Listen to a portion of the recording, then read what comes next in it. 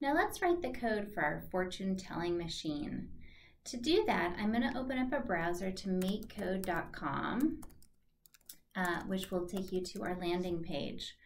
When you get here, go ahead and click on the Circuit Playground Express card. That's the round board right in the middle there, and you'll get taken to the editor.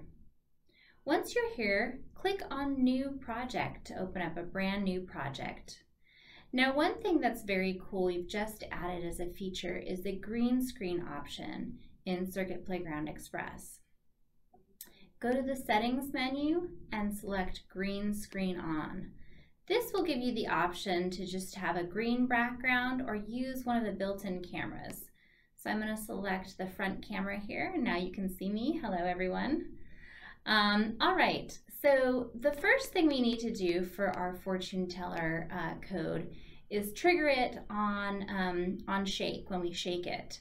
So I actually don't need this forever block, so I'm gonna go ahead and drag it over to my toolbox to delete it. And I'm gonna click on my input toolbox drawer and find that on shake block here. Go ahead and drag and drop this onto the workspace. The second thing we need to do is set a variable that will hold our random number that we select. So to do that, I'm going to click on this variables toolbox drawer here and select make a variable. And go ahead and give it a name. I'm just going to call mine pick. And then you'll notice that you get these variable blocks populated here. Grab a set variable block, the second one down, and drag and drop it into your on shake block. So we're going to set this variable to a random number. And to do that, I'm going to click on my math toolbox drawer Scroll down and you'll see a pick random number here. Go ahead and drag and drop this pick random block and drop it into the set variable slot. Now this will pick a random number between a minimum and a maximum value.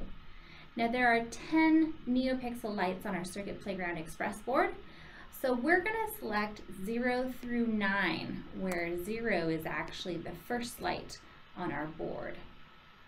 All right, now the next thing I want to do is play some sounds. So I'm going to click on my music toolbox drawer and grab this play sound block and drop it into my on shake block here. Now this play sound block uh, gives you the option of playing some built-in sounds. The default one is power up, but you can select uh, magic wand or siren or whichever default sound you want. Uh, then we're going to play an animation. So I'm going to open up my light toolbox drawer, grab this show animation block, and drag and drop it into my on-shake block. Now using the drop down, you can see we've got several different animations to choose from. Um, you can choose the comet animation or sparkle. Uh, I'm going to keep the default rainbow animation since um, that's my favorite. All right, we're also going to set the duration that this animation plays. So the default duration is it will play for 500 milliseconds or half a second.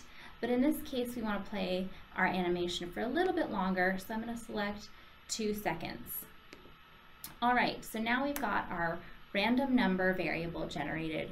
We've got some drum roll uh, suspense with the sounds and the animation.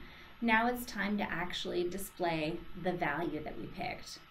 So the first thing we want to do is clear all of the NeoPixels. So I'm going to select the light toolbox drawer, Scroll all the way to the bottom to the More category, and you'll find this clear block here. Go ahead and drag and drop this onto our workspace to clear all the lights. And then we're going to open up the light toolbox drawer again, uh, scroll to the bottom into the More category again, and you'll see a block that says set pixel color at a certain position to a certain color. So go ahead and grab this block and drop it here. Now the position that we want the light to light up with is going to be set in our pick variable. So open up your variables toolbox drawer and find that pick block. And go ahead and drag and drop that pick variable block into this slot here. Now this will be a number, a random number between 0 and 9.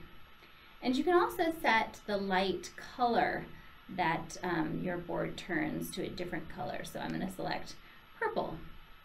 All right, so this is, this is our code and once we're done, we can go ahead and click this download button here and um, our program will be saved as a .uf2 file. And depending on what browser you're in, it's going to prompt you uh, to do something with this downloaded file. I'm in Edge, so I'm going to go ahead and click on Save As, and I'm going to save my program file onto my CPlay boot drive um, in my File Explorer here. So you'll notice it uh, pops up as a D drive here, and I'm going to click Save. And then my file has been downloaded um, onto my Circuit Playground Express.